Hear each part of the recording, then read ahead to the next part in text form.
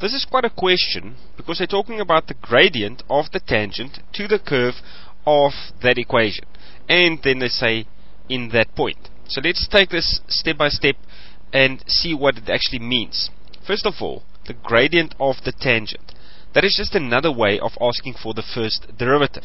So we'll take the equation y is equal to a third x cubed and we'll find the first derivative of that first.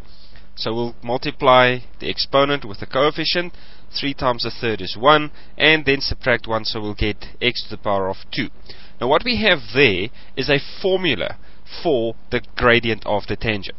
Because why this is a formula and not the value is if we take a look at the cubic graph, just a rough sketch of this cubic graph on an axis diagram, it might look something like that.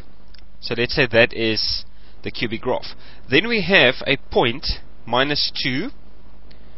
Let's say it's there. Which will intersect there and it will have a y value of minus 22 over 3 and that identifies that point on the uh, actual curve of this equation or on the actual graph and then if we draw a tangent in that point it might look something like that but what is important uh, at this point is to realize that that tangent in that point is a normal typical straight line graph. Y is equal to ax plus q or sometimes mx plus c. It's also how it is being referred to. But what is important for us at this stage is just that value the gradient. That's all we're interested in in this whole question the gradient of that straight line.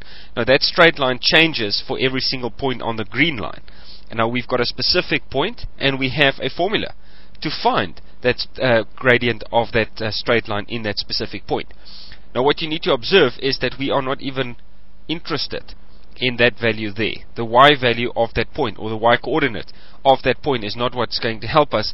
Only the x value is what we need to substitute into the first derivative because that is the formula for the gradient. So we'll get the first derivative is therefore equal to minus 2 squared and that is equal to 4 and that is the value of the gradient. So the value that we're looking for, for, to answer this question of the gradient of the tangent is only dependent on the x coordinate of any specific point on that curve, not the y values. Only the x values and that will then give you the answer if you simply substitute it back into the first derivative.